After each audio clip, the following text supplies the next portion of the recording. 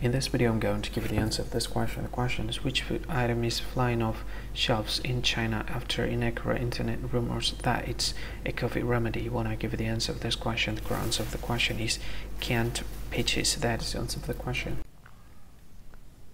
Hi, thank you so much for watching this video. If you find this video is very useful, you can help this channel to grow by subscribing this channel. Please this subscribe button and don't forget to like this video. And if you find this video is not really good or you don't really like this video or you kind of feel that it's a little bit offensive or something like that, you can click this one, dislike button. You can do that anyway.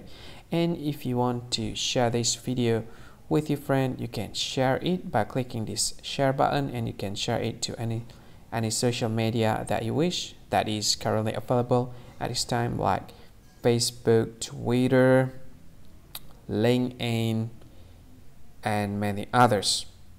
Right? And if you want to add this video to your playlist, you can click this one. You can watch this video later and you can find more options by clicking these three dots. And yeah, don't forget to subscribe. I think that's all of it. Thank you so much for watching this video and see you again in another video. Bye bye. See you again.